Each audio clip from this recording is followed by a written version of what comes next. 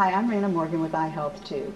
We are visiting with Dr. Parris Kidd. Welcome, Dr. Kidd. Thank you, Rena. He is the author of a very exciting book, especially for us aging baby boomers. It's called P.S. Nature's Brain Booster. Let's talk about our aging population, Dr. Kidd, and P.S. and how can that help people who are having the, the memory decline, the dysfunction in, in memory.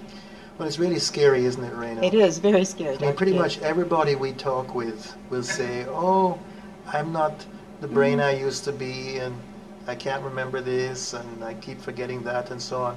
There is a, a certain rate of what we could call normal decline, but that decline is actually a lot less than people may think.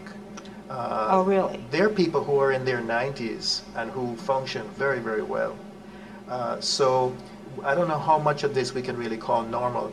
The statistics indicate. Yes, I was asking, wondering that, about the studies. Yeah. Yeah, this, the, the studies indicate that by the age of 60, fully half of all of us are having pretty major problems that increase our risk for dementia. Okay. Is it possible, and this is really germane to our, our age, is it possible to roll back the clock, especially with something like PS? Well, I'm really hoping so, Rena. and you know, we have a lot of double-blind trials on phosphatidylserine (PS). It's not a panacea, but the okay. trials do indicate, and many of these are very well designed and controlled double-blind trials. These trials do indicate that PS can slow that decline that begins to be noticed around the mid 40s or 50s.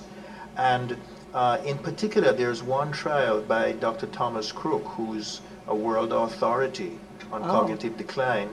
And Dr. Crook's team found, using very, very precise measures, mm-hmm. that some people who have this abnormal decline, some people over 50 who have this abnormal decline, can actually gain between 8 and 12 years really? of function. They can gain back function in things like recognizing names, recognizing faces, uh, remembering telephone numbers, and in word recall.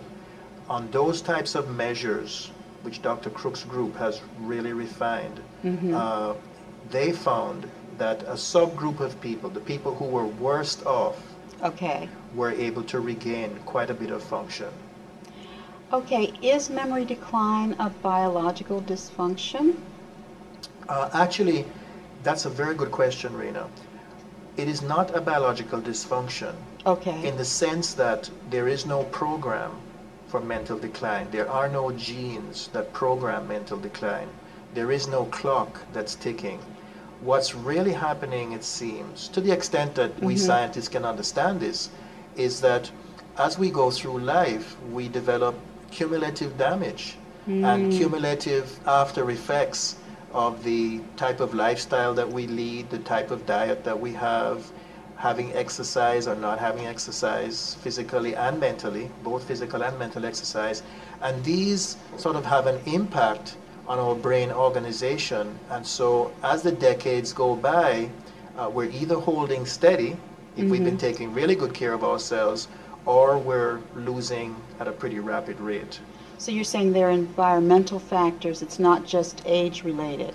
There are many, many environmental factors, both lifestyle factors and factors from outside the body, mm-hmm. uh, such as the very obvious problems with uh, organic pollutants, heavy metal pollutants, you know, uh, mercury, persistent organic pollutants, those types of things, which are widespread uh, in industrialized countries. Those okay. things can really take a toll on the brain. All right, but it is possible to roll back the clock.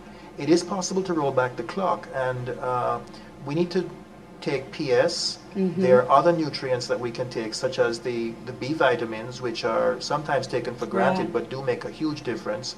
The essential minerals, right? Uh, other brain nutrients that help to rebuild, such as glycerophosphocholine or GPC, mm-hmm. acetylcarnitine, the omega 3s. Okay. And uh, I'm actually working on putting together combinations of nutrients so that we can get an optimal total health type of rebuilding of the brain. Oh, well, that's excellent, Dr. Kidd. Thank you for visiting with us. Thank you very much, Raymond.